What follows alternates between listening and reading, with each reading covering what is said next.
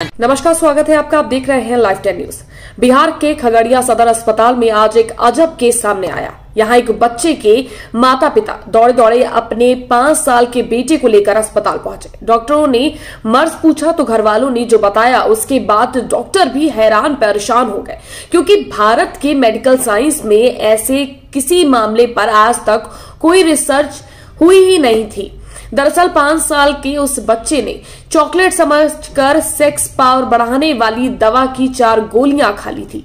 बच्चे के घर वालों ने खगड़िया के सदर अस्पताल के इमरजेंसी में तैनात डॉक्टर बरकत अली को सारी बात बताई। घर वालों के मुताबिक, उनके पाँच साल के बेटे ने घर में रखी सेक्स की ताकत बढ़ाने वाली दवा को चॉकलेट समझकर खा लिया। वो भी एक या दो नहीं, बल्कि पूरे चार टैबलेट को खा लिया था। इसके बाद बच्चा परेशान हो उठा, उसे काफ़ी पसीना आने लगा और उसके अंग विशेष में दिक्कत सामने आने लगी। इसके बाद बच्चे की तबीयत और बिगड़ गई। तब घर वाले फ़ौरन उसे लेकर अस्पताल पहुँचे। थे सदर अस्पताल के डॉक्टर इस अजब मामले से परेशान होने लगे और हैरान भी हो गए। इसी दौरान उन्हें अपने एक मित्र की याद आई, जो पटना एम्स में शिशु रोग विशेषज्ञ है। माजरा जान पटना एम्स के डॉक्टर भी हिल गए। उनके मुताबिक अभी तक ऐसा कोई मामला सामने नहीं आया था, इसलिए इलाज को लेकर भी ना तो कोई रिसर्च थी और ना ही कोई दवा। अब क्या किया जाए?